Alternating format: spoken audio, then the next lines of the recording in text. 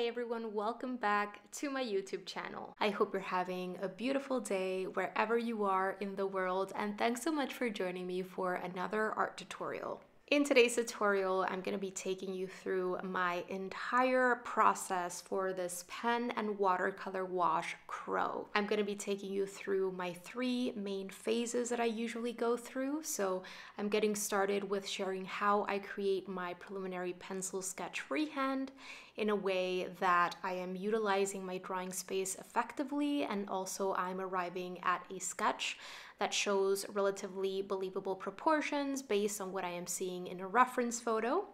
Phase two is going to be adding in my ink work. So developing my line work with my pen and also um, utilizing different types of mark making and alternative shading techniques before I move on to adding in my color. And finally, phase three is going to be doing the washes with watercolor. And for this one, I kept my number of colors limited. I'm only going to be using three different colors, and I'm going to be explaining all about the watercolor painting techniques that I like using with this kind of piece. Now, when it comes to creating a pen and watercolor wash piece, I think it's very important that we create a sense of balance between the two mediums. When I'm gonna be using just pen and ink for a piece, then most likely than not, I would push forward a little bit more in terms of my mark making and my alternative shading. But when I'm gonna be bringing in watercolor, I don't want to overly describe with my line work or my ink work. And the same thing goes when I am creating a piece that is just watercolor. In those cases, I am more likely to describe more values, describe more textures with just watercolor. But when I already have some pen and ink work laid down for me, I don't want to overly describe with watercolor. It's all about creating a sense of balance with the two mediums that you're going to be using and making sure that you don't overly describe with either of them when you're going to be combining them so that at the end, you don't end up with something that looks very overworked or very overly described or even maybe flat. I'm gonna make sure to leave timestamps to the different phases of this tutorial down below in the text section of this post in case you're primarily interested in learning how to draw birds with graphite or you're interested in learning how to use pen and ink or expanding your knowledge of alternative shading or mark making techniques or if you're interested in improving your watercolor painting. Lots of tips on all of these things are going to be provided throughout the video. I'm also going to be leaving links to past videos in which I delve in depth into each of these. So if you're interested in developing your freehand sketching skills or your pen and ink skills or your watercolor painting skills independently, then make sure to check out those resources that I'll leave for you down below. So you can skip or jump between these phases as you see fit, depending on your own personal current goals. You could decide to even leave this piece as a pen and ink piece, or you could push through the entire process alongside with me. It's totally up to you. All right, so here is the awesome reference photo that I'm gonna be using for today's pen and watercolor wash piece. I found it over at pexels.com, which is a great free art reference photo site and it was taken by photographer Jack Bulmer. After having downloaded it, I opened it up in Photoshop, I modified the cropping, and I made the colors brighter. I upped the contrast because the colors were a little bit too dark. And then once I was happy with how my reference photo allowed me to see different values throughout the bird and everything, then I got started. All right, so with all that out of the way, let's go ahead and get started with our freehand preliminary pencil sketch.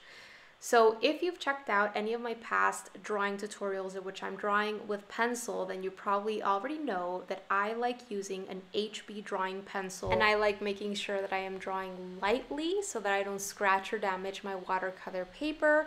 And also so that I can erase mistakes and refine my sketch along the way. And also because later on I want to be able to completely erase out all of my pencil work after I'm done with my pen and ink sketching process. Now in other drawing tutorials, I've also shared about my envelope method that I always get started with, doesn't matter what it is that I am drawing. And in the past, I've shared videos in which you can see me use this method for getting started with a still life arrangement sketch, and also for a sketch in which I'm drawing a pair of boots. Essentially, what I am visualizing here as I am laying down these straighter um, lines that lead to blockier uh, shapes is I am visualizing the bird that I am seeing in my reference photo as being wrapped with wrapping paper, as being covered with an envelope. So I am just visualizing its general overall silhouette, the major angles created throughout, and that is what I am trying to replicate to the best of my abilities. And you can see me continue to erase and refine along the way as I continue comparing my sketch to my reference photo. By the way, I always make sure to use a soft graphite eraser on my watercolor paper so that I don't damage it because erasers can also damage your watercolor paper so make sure that you're using a soft one. But I continue acknowledging everything as a whole and continue to compare my sketch to my reference photo, noticing if I have to modify angles, if I have to make something larger or smaller, or move a line a little bit more to the left or to the right. Um, as you continue working on your freehand sketching, your observational skills, your visual measuring skills, they improve, and your errors in proportion um, and shape and angles and all of that, they get smaller and smaller the more lines, the more elements you start adding into your drawings, the more points of comparison you start to have, and the more easily you're able to see little mistakes that you need to correct so that the proportions are more similar to what you're seeing in your reference photo or whatever it is that you have in front of you in real life that you're drawing from direct observation. But you can see me right here how I am starting to move on to uh, drawing smaller parts of this bird once that largest uh, body overall shape has been created um, effectively or as best as I could. I then start separating out that larger shape into smaller shapes and move on like that from largest and more general towards smaller elements. Something that you have to always have in mind when it comes to recreating proportions effectively for whatever it is that you're trying to draw is that getting proportions right is all about getting the relationships between the different parts making up the whole as close as possible to what it is that you're seeing in the photo. It's all about those relationships between the parts making up the whole. It's not just about one thing, it's about how everything fits together and relates to each other in terms of size, location, etc. So, what this takes is really continuing to compare on and on and on lengths, widths, locations, angles created between all of these different parts, right? It's about getting those relationships right. It's about coming back to see the whole. It's not just about one single thing or one single part of the subject. Along the way, ask yourself questions such as how many times would this head shape fit into the entire body shape of the bird? Or how long is the tail in comparison with the entire body of the bird? Or where is the end tip of this wing compared to the end tip of the tail? How long are these legs compared to the height of the bird's body? How close is the eye to the beak? Um, and where exactly is this element within this larger shape? Is it closer to the right edge, to the left edge, to the top edge, to the bottom edge? Divide separate sections into halves, into thirds, into fourths, and continue comparing things on and on and on. So I've added in the little legs, I've added in the beak and the eye, and right here, I am doing something that I often do when I am sketching specifically birds, which is I kind of notice the different types of feathers that are happening in that reference photo for this particular bird. Um, birds have different types of feathers throughout their bodies, right? And almost always, at least for when you're seeing a bird at a profile view like this, um, and you're able to see their wings, you're kind of able to tell the different feathers that are happening throughout the wing. And so what I did initially was I divided the larger wing kind of shape into smaller sections for the different types of feathers that I was able to perceive um, in a rough way. And then once I divided that entire wing into separate shapes, I then started filling in each one of those shapes with the specific feather shape going on in that larger shape. So I hope that that makes sense. Again, making my way from general towards specifics. Making my way from general towards specifics is very helpful for me, mainly because of two different reasons. Number one, it helps me arrive at better overall proportions. And number two, it really helps me utilize my drawing space more effectively.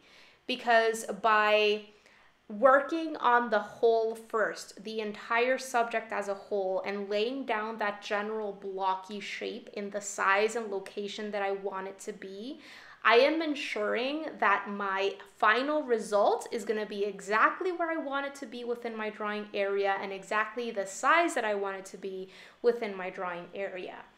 Because when I was getting started in my drawing journey, I was working from left to right or top to bottom or whatever the case may be from one side to the other, right?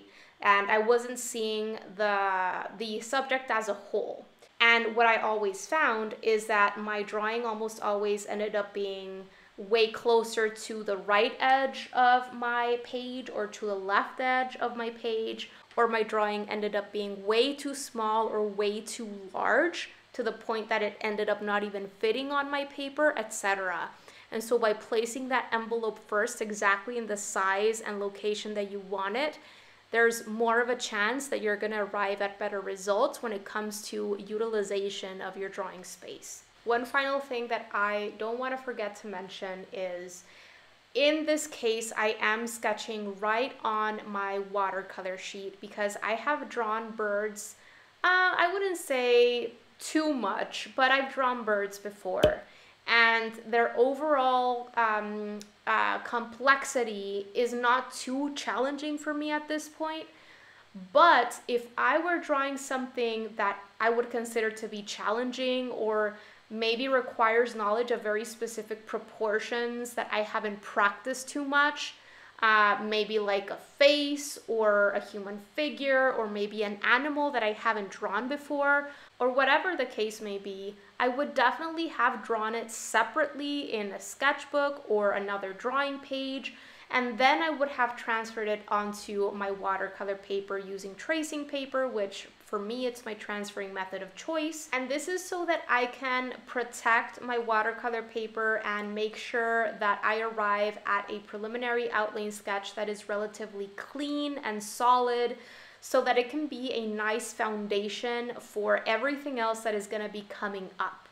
This is the base foundation for everything else. And if your preliminary sketch is not effective, if you don't spend enough time on it with those proportions and everything like that, or even if you arrive at a messy, uh, dirty look, then that can definitely affect your overall results. So take your time and do whatever it is that you have to do in your particular case, depending on how challenging you find the subject on hand, so that your outcome is of a higher quality.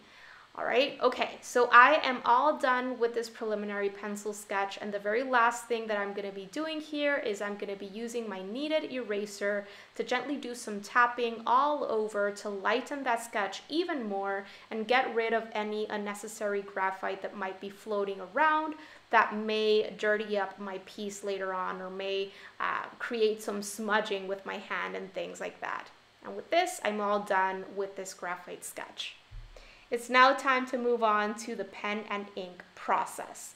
I'm going to be using one of my pigment liners from Staedtler in 0.3 tip size. When you're going to be combining any sort of ink tool or ink with watercolor, it's absolutely essential that you take your time to find a ink pen or ink that is permanent, that is waterproof, that is smudge proof, and that is not going to be affected by the application of watercolor paint that is going to come later. This said, there are artists that do their watercoloring first and then do their ink work or do it in the way that I'm going to be sharing with you today, which is what I usually do, in which you do the pen and ink work first or your ink work first and then you do the watercoloring.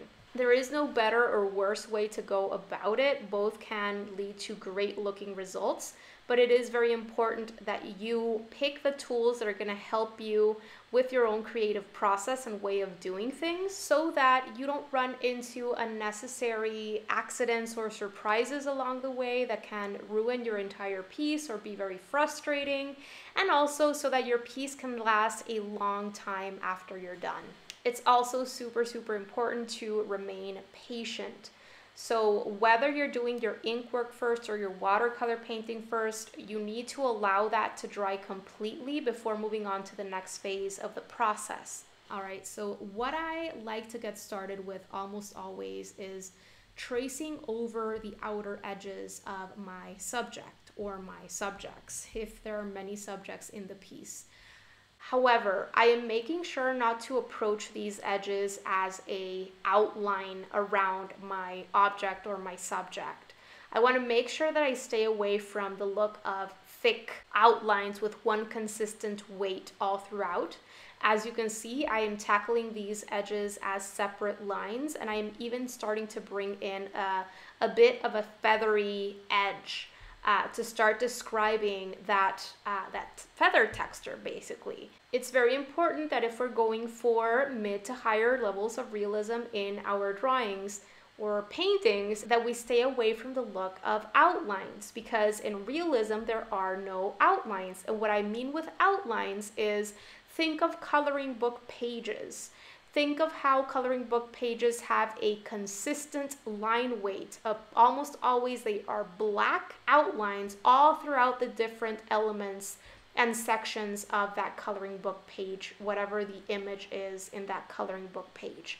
That's really what I am trying to stay away from because those thick outlines are going to lead to flatness and this is something that I've constantly talked about in other pen and ink videos is you want to have line weight variation in mind when you're going for mid to higher levels of realism or simply drawings or sketches that are more dynamic looking, that are more flowy, have more depth to them, and are more interesting to look at. So, in other words, you want to make sure that the lines and the marks that you create have a line weight variation to them. There is a variety in terms of their thickness and how dark they are.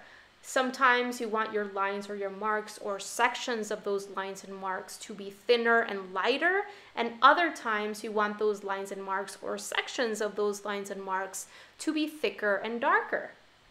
Generally speaking, I would much rather have slight wobbles in my lines and marks and have them be imperfect but flowy and have a line weight variation to them than to have lines that are super, super precise and perfect, but look very stiff and very heavy because they're one consistent line weight all throughout and have a very heavy outliney look to them. And as I was explaining in a past pen and ink video, there are four things that you can really start using and shifting and changing mindfully that will help you start developing that line weight variation. Number one, there is the pen tip size in and of itself, because obviously the thinner or the smaller the pen tip size, the lighter, uh, the thinner that line will be versus a pen tip size that is thicker but there's also the speed at which you move your arm. If you hesitate, if you're moving your arm very slowly, that is likely going to lead to a heavier, uh, stiffer look to that line. Not only this, but the slower you go and the more you hesitate, the more of a chance there is that you're going to create stop and start marks throughout your lines and marks. There's also the angle at which you're using your pen because if you're using your pen in a more perpendicular way to your paper, then the ink is going to flow down that nib due to gravity a lot more heavily versus when you're using your pen at, let's say, a 45 degree angle, 30 degree angle from your paper, then that ink is not going to fall from your nib as quickly, leading to a thinner, lighter line. And finally, the fourth thing that can really have an impact on your line weight variation is the pressure that you're exerting on your pen. Because if you're exerting more pressure on your pen, there's gonna be more ink coming down, flowing down that tip, versus when you don't exert very much pressure on your pen at all, the lighter and even maybe more broken those lines will be.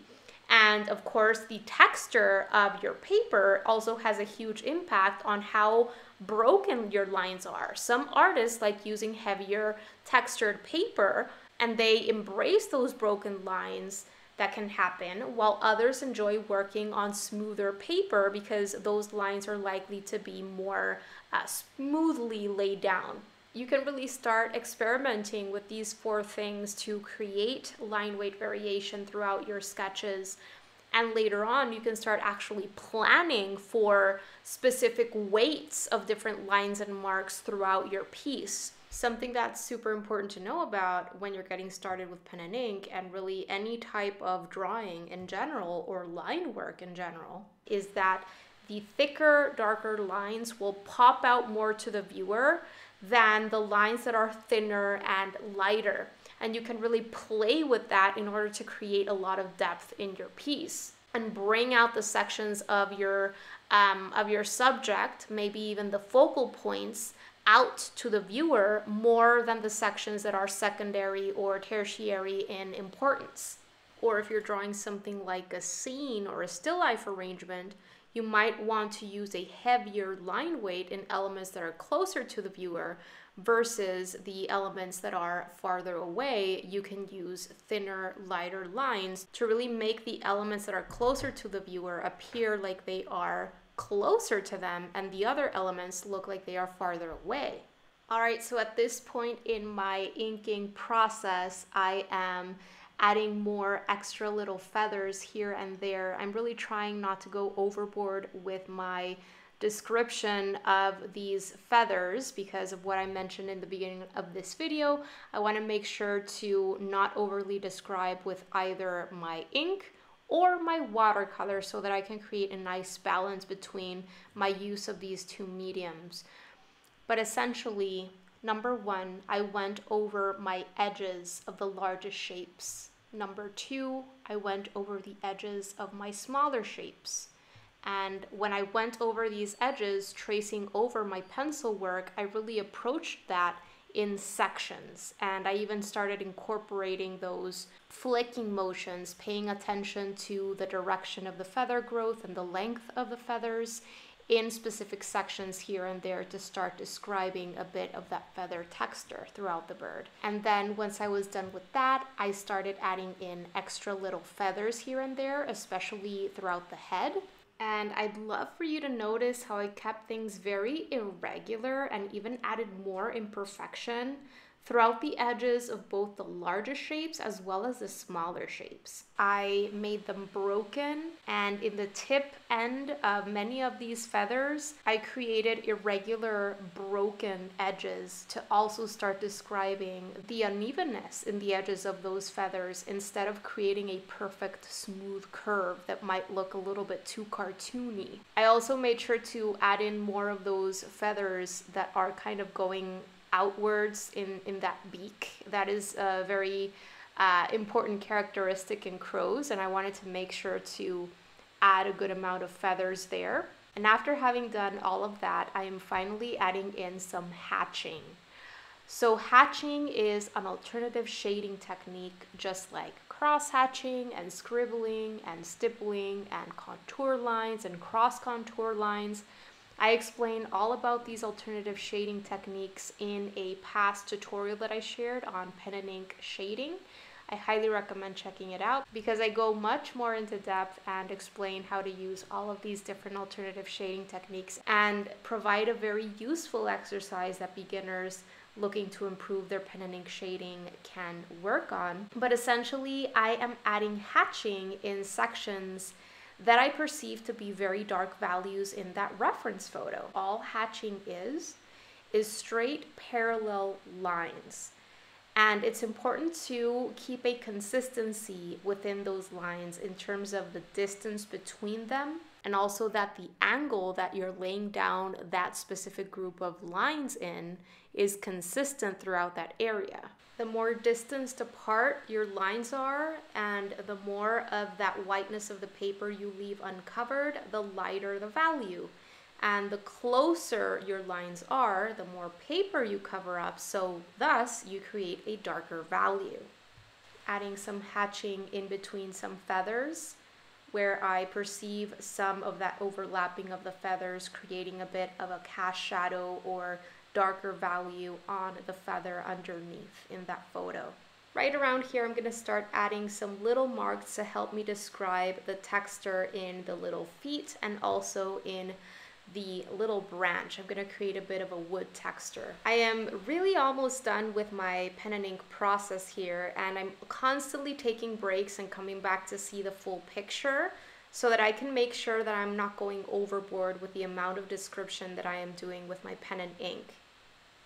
And hopefully you can see how I've kept things moving. I've kept jumping from section to section and I'm keeping everything relatively loose and adding in a lot of irregularity all throughout. In just a second, you're gonna see me darken the pupil of the bird's eyeball right here. And this I'm gonna do with my pen because I have a little bit more control in this teeny tiny but very important section of the eye. Eyes are a super, super important part of any kind of animal or uh, human portrait or piece. So I finished up with my pen and ink process. I allowed everything to dry for around half an hour. The ink offered in these Staedtler pens dries pretty fast, but I wanted to make sure that nothing would smudge. And once everything was completely dry, I took my soft eraser and I erased out all of my pencil work that was still visible underneath that ink. And with that, we're ready to get started with the final part of this process, which is going to be the watercolor washes. So I am going to be using only three different colors for my watercolor washes, and these colors are Azure, Indigo, and Burnt Sienna. These are all colors from my St. Petersburg White Nights full pan paint set, and you by no means have to use the exact same colors that I'm going to be using. I'd recommend using what you have available that is most similar to the colors that I'm going to be swatching out for you right here on my scrap piece of watercolor paper. So what I am doing right here is I am preparing five different little puddles of color in different wells on my color mixing palette using these three colors. The ones at the top are just burnt sienna at the top right with a little bit of water in it. On the left of that, I have indigo with a little bit of water in it. Underneath those two, in that largest swell of my color mixing palette, I have a mixture of the two. So that dark gray color is a mix of indigo plus burnt sienna. And when you're creating your gray color mixture, make sure that you arrive at something that looks like a gray because if you have more burnt sienna in your color mixture than your whatever dark blue it is that you choose it's going to look like a dark brown. And if you have more blue than brown in your color mixture, it's going to look like a dark blue. And you kind of need a 50-50 amount of each for it to look like a dark gray. Once you're done with that dark gray, you're gonna need a brighter blue, and this is a color that we're gonna be using to paint in a little bit of a background. We're gonna be painting in a bit of a sky color in a vignette style, and you want a brighter blue for that. And for this, I chose my Azure, which is way brighter than the Indigo, which I'm gonna be using primarily inside of the bird. And the dark brown that you see right beside it is also a mixture of burnt sienna plus indigo. But in that mixture, I have way more of the burnt sienna in it than of the indigo, so that looks like a dark brown. Make sure you create nice juicy color mixtures on your color mixing palette of all of these colors. You want a good amount of pigmentation in them, but also some water in them. This is by no means all of the paint that I'm going to be using throughout this painting process. I'm going to be making more of different colors as needed um, as they run out and also adding in maybe more water into my color mixtures or adding in more of one color or another color as needed. All right, so once my color mixtures were ready, I changed my water because it was pretty murky and I'm gonna be doing some pre-wetting to get started. So with my container of fresh clean water, what I am doing here is I am using my size 6 mop brush to do pre-wetting all throughout the bird's body.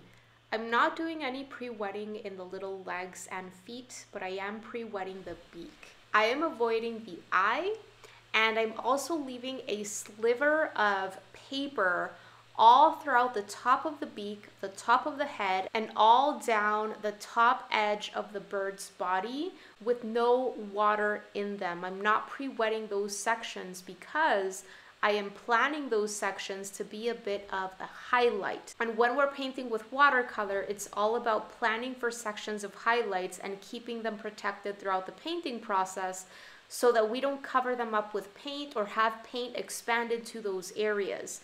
When we're painting with watercolor, we create highlights by keeping the whiteness of the paper shining through unpainted in those sections.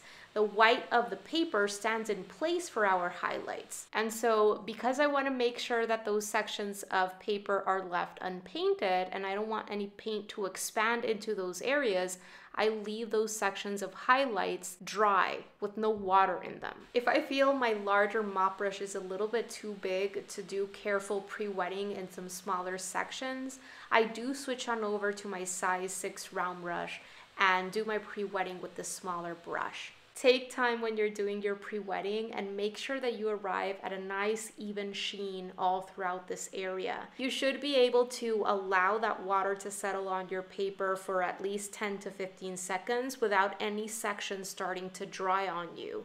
And if any sections do start to dry way too fast, it probably means you haven't pre-wetted enough. Make sure that you're bringing out just a little bit of water at a time from that container onto your paper and make sure that you don't have any puddles anywhere before starting to drop in your color. And if you do have excess water anywhere in this area, just remove all of the water from your paintbrush bristles, dab your tips of your bristles on your absorbent towel, which you should always have on hand an absorbent towel or kitchen paper towel or something like that when you're painting with watercolor to stay on top of water control. And then you can use the clean and semi-dry bristles of your paintbrush as a little absorbent sponge to get rid of any excess water and puddles. Just smooth those bristles of your paintbrush gently over this section and that should remove the excess water. Doing pre-wetting is super, super helpful when you're gonna be painting larger areas, creating larger washes, because by doing your pre-wetting, you're depositing a certain amount of water content on your paper, and that is gonna help that paint dry a lot more slowly, and also you're gonna be able to create nice diffused out effects. That water is going to make it so that you have more working time because when you start painting on paper that is dry, that paper starts soaking up and absorbing that paint immediately when it's placed on paper the paper is super thirsty and you're left with sharp defined edges around the shapes that you paint in. And most likely than not, when you're painting those larger washes, which oftentimes come in the beginning of your watercolor painting process, you're not looking for sharp and defined edges because that is going to lead to a texture that you probably don't want in those larger washes of color. So by taking time to do pre-wetting, you are giving yourself more working time. You're gonna be able to spend more time developing those values, developing your colors, moving around your paint and getting rid of little textures that you don't want and so on and so forth before that paint starts to dry on you. All right, so after having done my pre-wetting, I started dropping in my indigo. This is all indigo so far And what I am doing is I am placing a bit of indigo at a time. This is my size 6 round brush, by the way. And I always start by dropping in my color in darkest value areas that I see in the reference photo. Why? Because this way that color is going to expand out right? Because that paper is wet and there's just gonna be a very, very small amount of that color reaching lighter value areas, which is exactly what I want to make something look like it has volume to it, look like it's a little bit more realistic and 3D, we need to develop a wide range of values. We need highlights, we need a wide range of midtones, and we need darkest dark areas. And I've already planned for my highlights, right? I've kept my highlights protected by not having done my pre-wetting. You can see how I have that whiteness of the paper shining through completely along the upper edge all throughout that bird from the beak and a sliver along the top part of its body, right? Those are the brightest highlights but I also need very, very light areas in which that color is very light and translucent. And then there are the darker values, and these are areas in which I start by placing that color so I have a greater amount of that pigment in those areas. And then later on, I apply even more pigment or do some overlapping in those darker value sections to darken them even more, to create even more color saturation. So that's basically all I did. I continued applying my indigo a bit at a time always starting by placing the majority of that color in darkest value sections. I allow that paint to expand out to do its own thing. And then once I felt I had placed enough color, I removed all of the color from my paintbrush bristles and I went back in with a clean and only slightly damp paintbrush. And sometimes I moved that color a little bit. I created softer looking gradients into lighter mid-tone areas got rid of little textures that maybe I didn't like so much by very gently and minimally running my paintbrush bristles over that paint and so on and so forth until I arrived at a nice range of values and I continued placing a little bit more of that indigo at a time in sections that I wanted to darken even more to saturate that color even further. It's very important to continue observing that reference photo, notice sections of darkest darks, of um, cast shadows in between overlapping feathers, sections where maybe you are uh, trying to round out that shape of that body a little bit, etc. You can also see how I started placing some of my burnt sienna in some sections.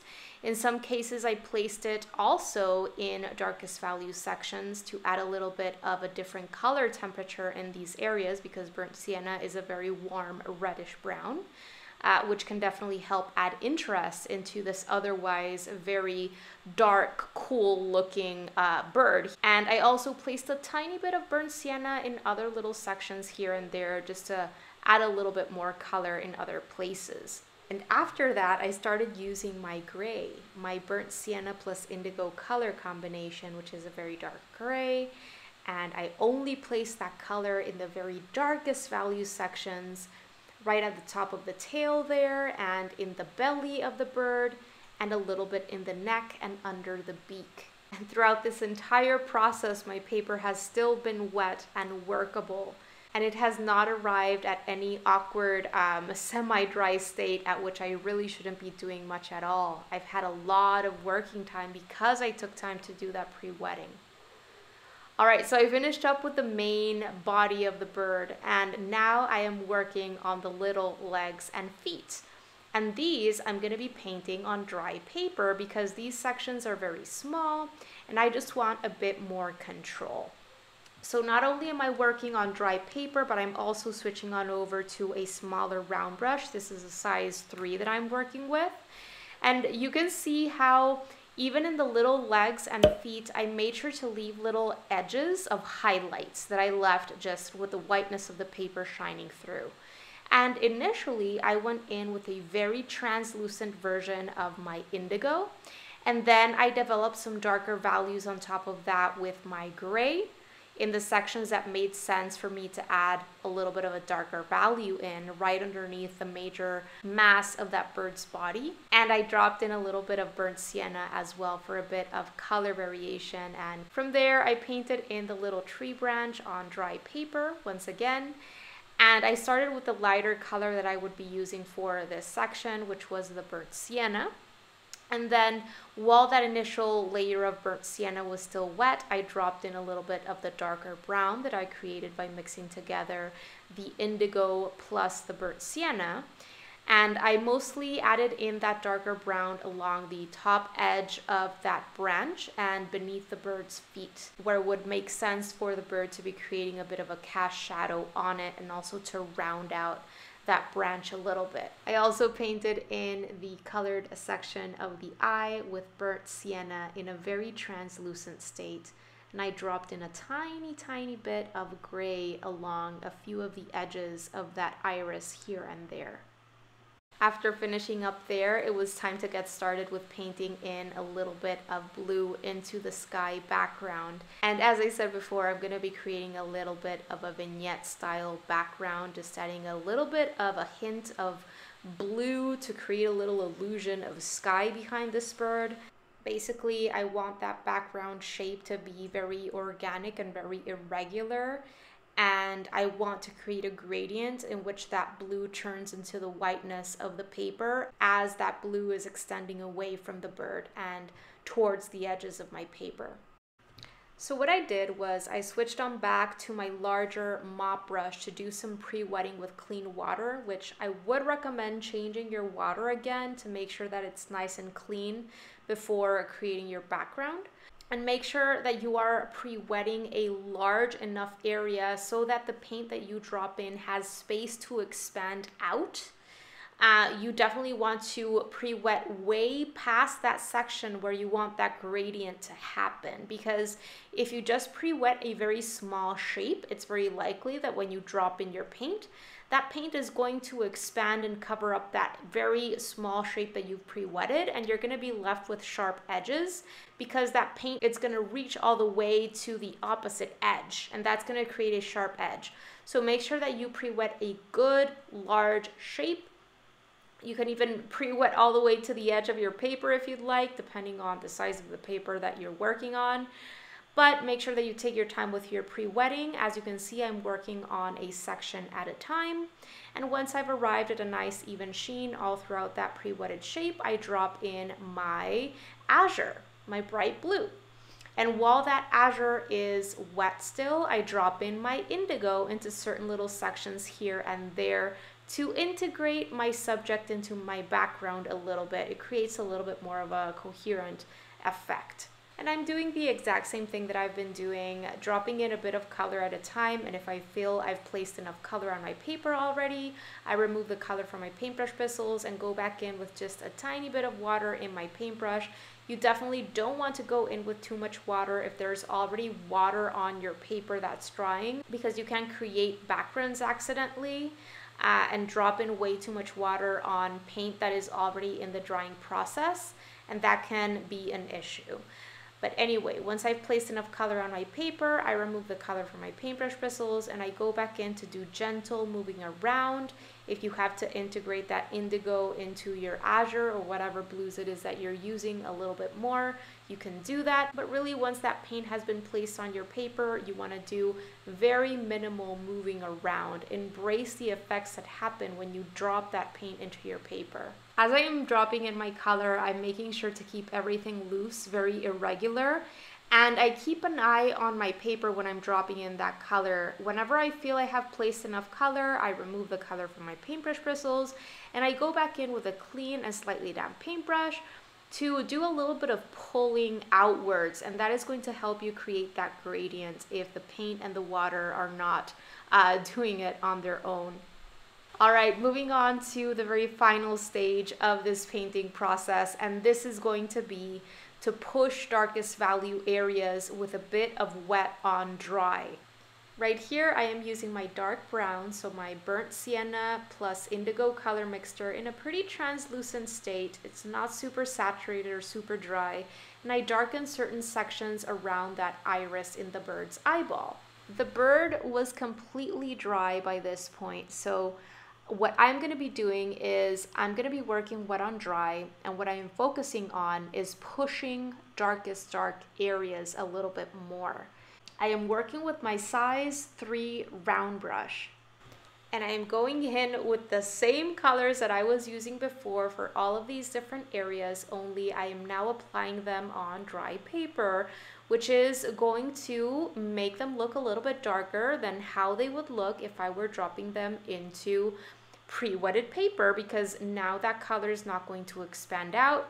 There's no water content on my paper that is going to get added to the water content in my color mixtures. And you can see what my color mixtures look like on my color mixing palette at this point in the process. There's a very small amount of paint left in those mixing wells. And I'm just dipping my paintbrush in my container of water and reactivating that color that has oftentimes already dried because there is such a small amount on my color mixing palette. And I'm just taking a very very small amount of that color. So it's still going on pretty translucent but because I am overlapping more color on top of each other I am darkening darkest value sections. So I'm constantly looking at that reference photo and noticing sections that I want to push those values in a little bit more. Sections in which I perceive darkest values. Sections in between the feathers in which I perceive uh, overlapping and cast shadows, in the upper section of the tail, the upper section of the legs, the underneath section of the beak, and all of those things. You're also going to see me use these different colors, my indigo and my gray, and sometimes even my burnt sienna, in a very translucent state to create a little bit of a definition along some of the edges of some of the feathers in the bird's back. And because I am painting on dry paper, I'm being left with sharp defined edges around these shapes that I am painting in. So whenever I want to soften an edge, and I don't always do this, um, having sharp edges here and there is perfectly fine. I actually like having a combination of soft edges and sharper edges, but whenever I want to go in and soften an edge, all I have to do is remove the color from my paintbrush bristles, go in with a clean and slightly damp paintbrush and run my bristles of my paintbrush over the edge that I want to soften while that little shape is still wet.